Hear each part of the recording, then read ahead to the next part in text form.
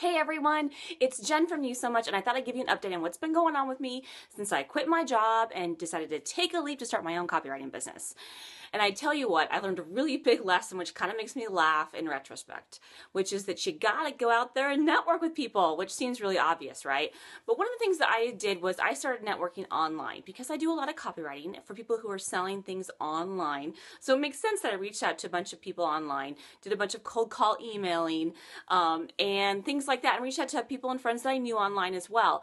And, you know, that did help a little bit and it did get me some business. But to be honest with you, I was sort of feeling like I was in this vacuum, like in by myself, in my room, like hunkering down, doing some copywriting and working really hard on doing things to get my website going, to do these videos, to, you know, do the actual work of writing for people.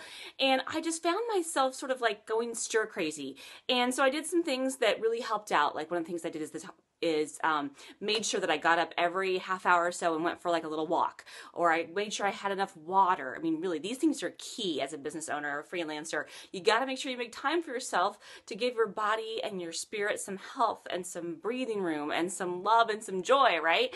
And of course, I have so much joy writing, I love it, but you still have to give yourself a little time and relaxation and enough sleep, which is another thing I learned uh, already so far too.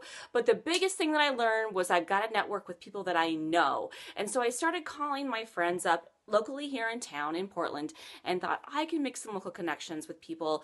And at least I you know I don't I didn't expect any of them to say hey you know I've got this copywriting job for you or anything like that. But I thought they might be able to just give me some good advice on owning a business because I I reached out to all my good friends that were business owners. You know what I really discovered was that it just feels really great to network with your friends right? It just feels good to get out there and talk to people. And I tell you what my work has improved a ton too because I made time for myself to be social social and I'm a social person.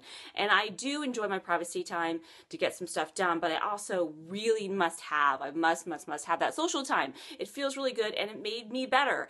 And you wouldn't believe this, but almost every single person I've talked to, and I've had probably about five or six lunches in the last uh, four or five weeks, and almost every single one of them have either given me a name of someone to talk to or said, Hey, I know of somebody who you could write copy for which I totally didn't expect. I just thought it'd be great to get my name out there with them. And if they happen to run into someone six months down the line and they knew that I might was a copywriter and might recommend me, how great that would be.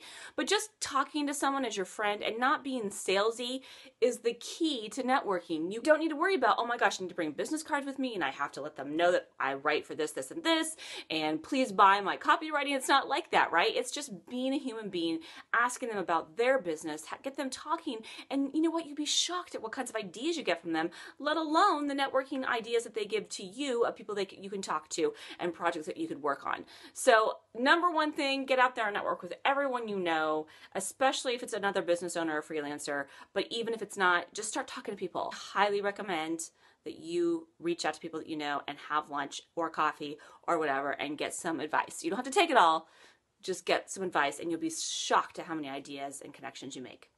Thanks so much. We'll see you next time.